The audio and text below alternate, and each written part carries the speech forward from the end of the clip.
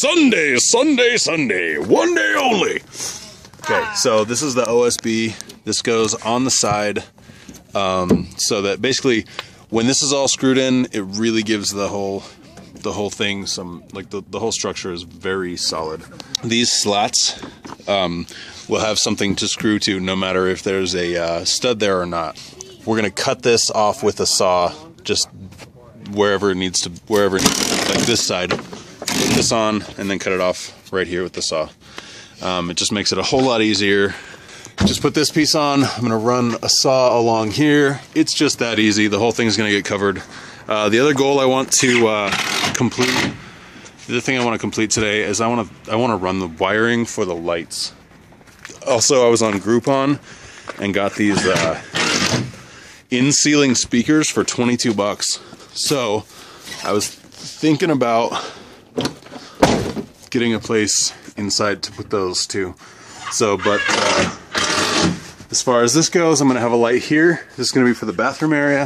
I'm gonna have a light above my kitchen area there, one light above the bed, and then one light outside um, the front wall for the, uh, whatever that's gonna be called, the porch kind of thing.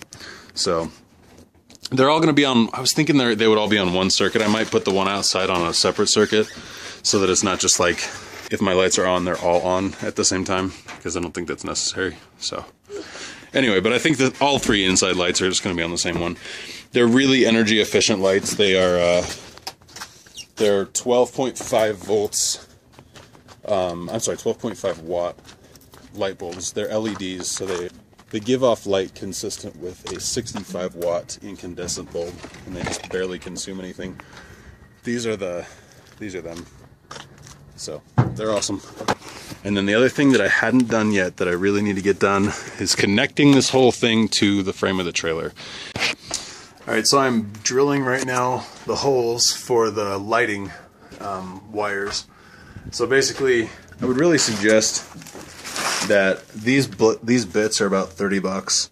Um, I've just had this for a long time, but if you can find someone that has one, they're great because this grabs into the uh, wood and it just pulls it through. So it's kind of you kind of have to even watch out for like that it's not going to pull you through too. So, but um, yeah, basically um, with where I want these lights to go. So I was going to put the light right here. Toilet will be like sort of below that. So I'll look angelic when I'm on the pot. Anyway, um, yeah, you like that? anyway, so then um, I wanted to do one more light in this area here um, and since the, the ceiling comes up at this pitch like this, having a light here um, coming down this way, and then having a light actually just right in the very crook of the top of the they're um, coming like angled in this way, I think will be really good for the, the lighting the whole space, you know?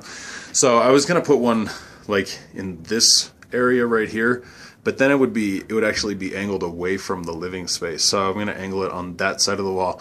The only bad part about that is I just have to keep drilling these holes all the way through these next two, three, four, five, six boards all the way to the other side of that. All right, this is uh, it's lunchtime. We're feeling like we're gonna pass out, and um, yeah, so this is how far we got. My brother's helping today, and Kendra came up she's helping too. So anyway, this is it. I've got a gap right here, and it's kind of like there's a board on the other side of it. There's a board here, and really, I don't know. I'm not super worried about it. If it were drywall, I would cut in, take a strip off of here, and then I would have moved this board over. But really, it's just OSB. So this is just what the uh, siding is going to hang on. And I've got all these studs in here, and we're gonna have one screw every foot on each stud, so it's gonna be just fine. This stuff doesn't have to be pretty, it's just gotta be effective. Quick note about these connectors. I actually found these at work. They were, uh, there were a whole bunch of them that were thrown away in these bags. So they've got, they were like this. I just bent them out to that shape, but I'll actually use the L shape um, brackets like this down there on the other end. So yeah, it's another another way that I have uh, saved some dough. Okay, so this is my setup right now. this is the last way you want to test this, but I wasn't, I've never done wiring before, as you can clearly see. And so I wanted to make sure that this wiring setup was going to work with these lights. And I've got two lights in right now just because they're freaking 50 bucks a piece. Um, and I was more of my concern to get the OSB in. So, about to find out if uh, this works. So I'm going to pause this. I'm going to turn this light off. Okay, um, hold on, wait. Plug it in, plug it in. Oh yeah, so good. She's good of power, and this is half the light that I'll have in here. So it's not super bright, but uh, this is a good like relaxing amount of light. And also, they are dimmable, and I think, I mean, it only costs like, I don't know, another $12 to put them on a dimmer switch, so I probably will do that. Um, I guess that's it for now. What's up? Oh yeah, I didn't show him the door. Check it. Yo, coming to wreck it. What? Wreck a mic. Wreck a... I'm not very good at freestyling. So yeah, this is an old door that um, my boss at the um, at the construction site he was doing a renovation on his house. Can you shut it again? And so this door is, I can't remember what he said, 104 years old or something like that. So, but it's all like solid wood. It's, I, I love it. It's like really rich tone and heavy and awesome.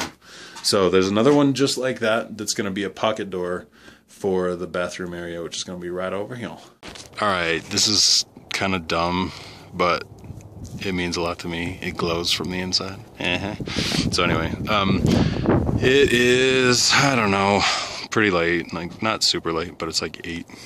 So anyway, that's a wrap for tonight. Everything's all cleaned up and whatnot. Thanks for bearing with me. Thanks for watching, guys. Also, um, yeah, if you have any, if you if you know anybody who wants to um, do something like this, you should uh, refer them to this channel. Like subscribe, share it on your uh, Facebook pages, and and uh, tag your friends in it. That would be awesome.